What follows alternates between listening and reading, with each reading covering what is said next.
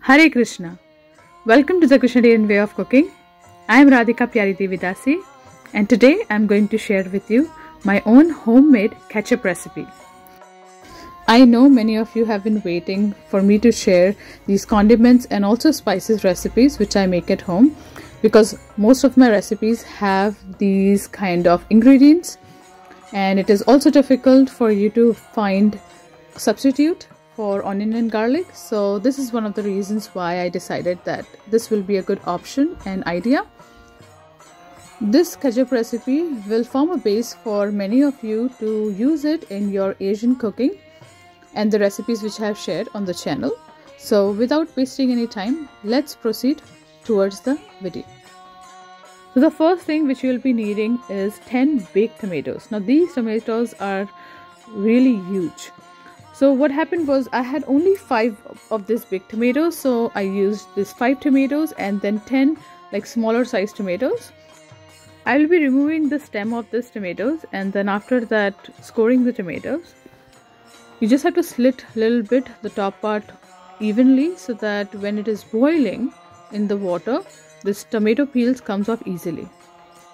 Now one of the most essential ingredient for making this tomato ketchup is tomato paste.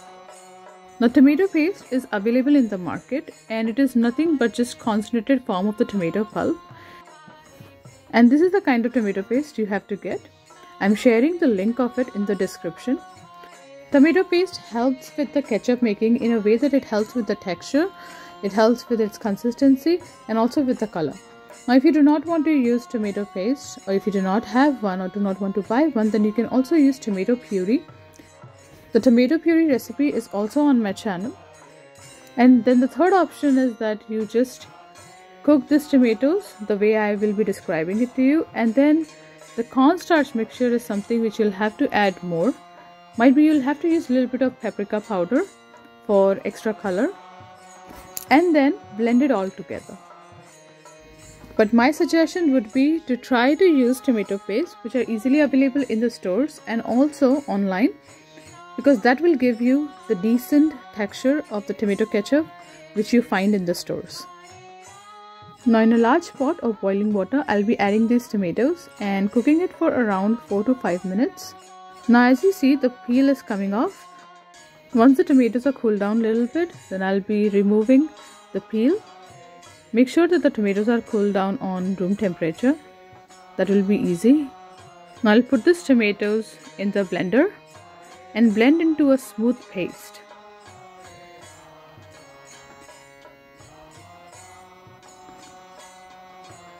Now once they are blended well, then I will be putting them in the pot and keep the heat on medium and start adding the remaining ingredients. So here I have mustard powder. I've actually grinded some mustard seeds. You can use white mustard or you can use even black mustard seeds. So this is around a quarter cup now I added between 2 3rd cup to 1 cup of white sugar. You can also use other colored sugars. And if you want it less sweeter then you can just add 2 3rd instead of 1 cup. Then I added nearly 1 tablespoon of olive oil. Now I've added nearly 2 tablespoons of organic apple cider vinegar. Now you can also use a quarter cup of lemon juice instead of the apple cider vinegar. If something which you have not made at home, you can just straight away use the lemon juice. Then after this I'm going to add nearly a tablespoon of salt and then a tablespoon of black pepper powder. Then I'll mix everything well.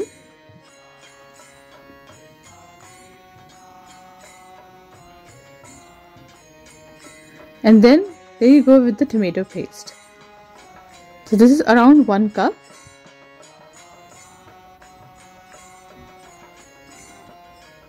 Now I'm going to make sure to mix everything well first and then I'm going to let it come to a boil. Once it comes to a boil then I'm going to simmer down the heat and then cook this entire thing for around 10 to 15 minutes.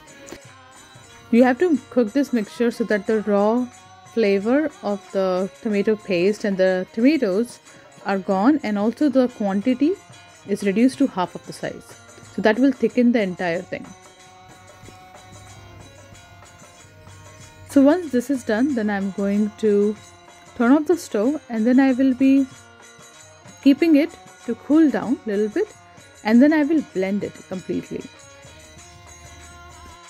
Now once this mixture is blended well, this is how it looks like.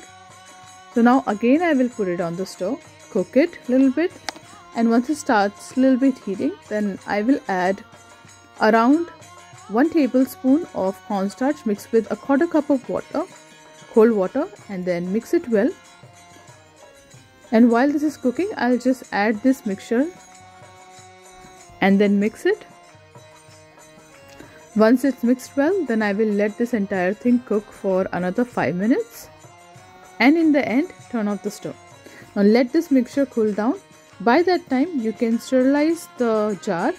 So in order to sterilize this jar, I put it in hot water with some lemon juice to it and kept it soaked for around 15 minutes and then wiped it clean and then I started putting the ketchup in it. The quantity of ketchup will be around 1 kg. Now I'm going to weigh this. So including the weight of the jar, this is around 1800 grams which is like 1.8 kg. So this is nearly more than 1 kg. Now let me show you the texture of this ketchup. This is how smooth and exactly like store-bought ketchup this is. Our homemade ketchup is ready. Hope you liked watching this video. Thank you very much. Hare Krishna.